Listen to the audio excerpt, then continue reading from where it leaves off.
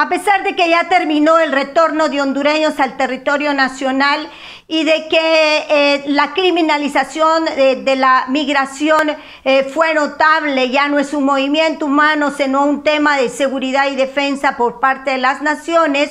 eh, hoy tenemos que decir también que hemos perdido a tres hondureños, dos hombres y una mujer, además de que cuatro se encuentran extraviados. Una mujer eh, que se perdió entre el cruce de Guatemala y Chiapas, originaria de Tegucigalpa, dos originarios de Choluteca y una persona que supuestamente cruzó el río Bravo y se encuentra en una de las garitas de migración de los Estados Unidos en el lado de McAllen. A esto hay que sumarle centenas de hondureños que se encuentran en las diferentes eh, oficinas de migración de México, en donde están solicitando la ayuda inmediata de los asistentes consulares para dar el acompañamiento del retorno eh, voluntario y, que puedan llegar lo más pronto a nuestro país. Porque al salir de estas garitas que no tienen acceso ni siquiera a los, eh, a los teléfonos, los migrantes quedan con, en 45 días para poder retornar